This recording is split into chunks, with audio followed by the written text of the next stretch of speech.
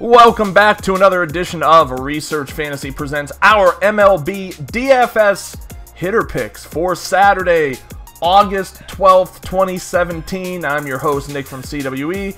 I'm going to bring you three of my favorite bats for your DFS lineups tonight. Let's get things started off with Rhys Hoskins, 4,800 fantasy draft, 2,100 FanDuel, 2,500 DraftKings. Look, I'm always about finding some way to save some money.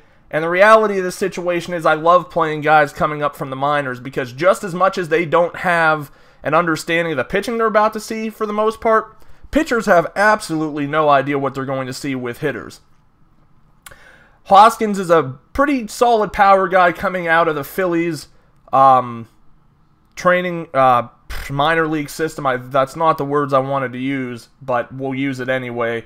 And he saves you a ton of money. Yes, you do have to burn your first base slot to use him, which is something that I think as a whole, DFS players probably don't like doing too much. Taking on Steven Matz, who is an on the surface good pitcher, but just has not been able to get it done against righties. 380 wOBA, 35.8% fly ball rate, 20.8% home run to fly ball ratio, 36.7% hard contact. I'm calling for Hoskins to hit his first home run tonight, and he'll do so at a very, very nice price.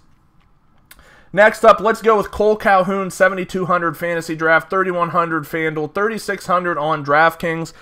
Yeah, it's never an exciting option to use an angel not named Mike Trout, but every once in a while Calhoun manages to make himself a solid play.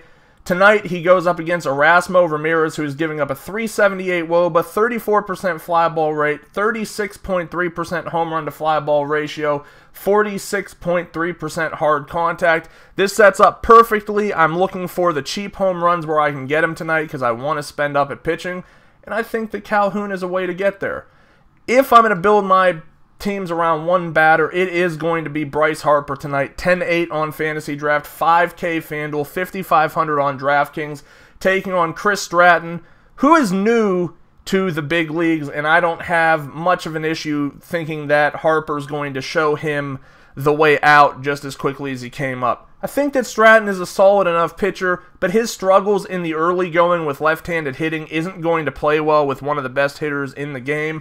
Yes, he's going to cost a lot. Yes, he's going to be very highly owned. But if he has a huge game and you're on the wrong side of him, you're not cashing for big money tonight. For the most part in tournaments, unless you're trying to win, I don't know why you're playing. I never play a tournament just hoping to get min cash. If that's the way it works, then so be it. But I try to build my lineups to win, and I think Harper's the guy you're going to want to win tonight.